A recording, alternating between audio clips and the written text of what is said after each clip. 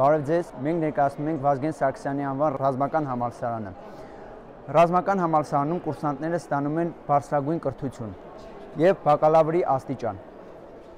Ռազմական համալսարանում կա 5 բաժիններ՝ մոտորաձգային, հրետանային, տանկային, ինժեներական եւ հետախուզական բաժինները։ Մասնագիտություններով կարող են կուրսանտները ընդունվել եւ սովորել։ Ընդունելությունը կազմակերպվում է 18 տարեկանից դպրոցը ավարտելուն պես։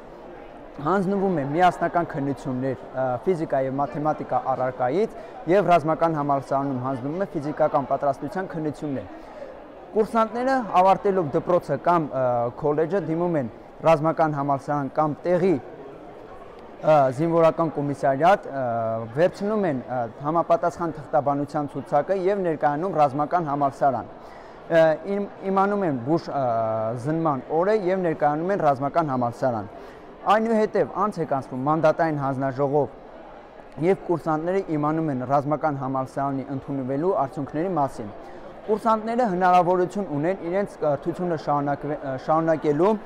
Հունաստանի, Գերմանիայի, Իտալիայի, Միացյալ Թագավորությունների եւ Ֆրանսիայի ռազմա, ռազմական ակադեմիաներում ստանալով նույն բարձրագույն կրթությունը։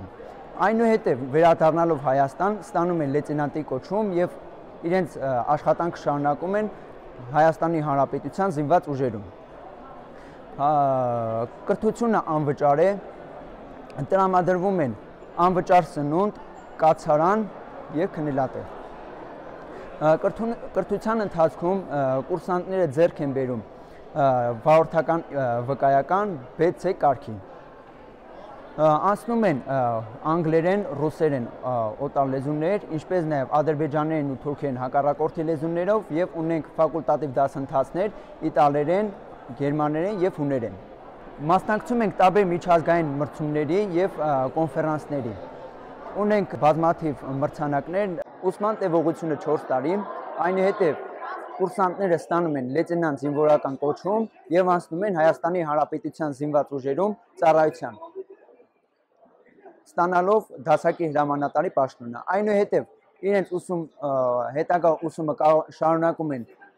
Վազգեն Սարգսյանի անվան հրամանատարաշտաբային ֆակուլտետում ստանալով մագիստրոսի կոչումը։ Ցանկացողները կարող են դիմել մոտակա զինվորական կոմիսարիատ կամ Վազգեն Սարգսյանի անվան ռազմական համալսարան։